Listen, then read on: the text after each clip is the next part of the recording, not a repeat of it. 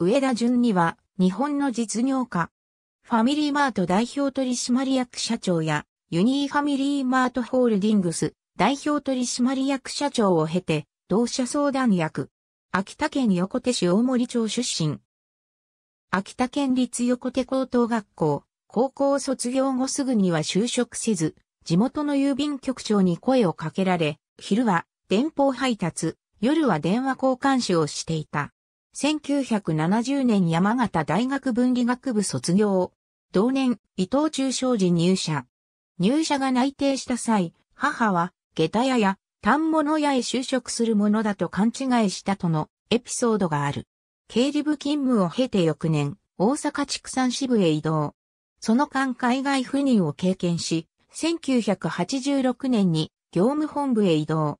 1989年には畜産第一課長となり、その後加工センター長、営業本部長、経営企画本部長となる。1994年には畜産部長、1997年にはプリマハム取締役に就任。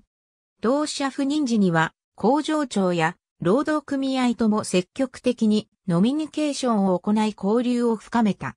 その結果として5年連続で赤字続きだったプリマハムを再建させた。1999年には伊藤忠、食品部門長補佐兼 CVS 事業部長、2000年には CVS 事業部長等を歴任。2000年にはファミリーマートの執行役員、常務を経て2002年に同社社長。ファミリーマートでは社長塾をスタートさせる。同社社長時代の取材によれば、目標は世界最高のホスピタリティ溢れる店舗にすること。ナンバーワンになるかのポイントは、どこの店舗が一番居心地が良いか。挨拶や接客だと思う。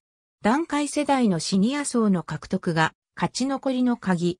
週3回来ても飽きない品揃えやホスピタリティの充実が必要。と述べている。その後、同社代表取締役会長に退く。好きな秋田弁は、上がってたんせ。2014年には、佐々木工事ユニーグループホールディングス相談役と、ゴルフコンペで経営統合交渉を開始することを合意した。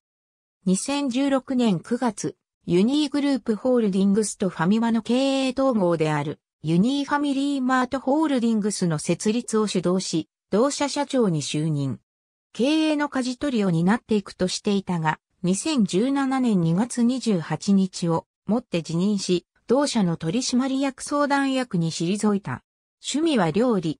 自らがプロデュースしたオリジナル料理をファミリーマートの社長のご飯シリーズとして登場させた。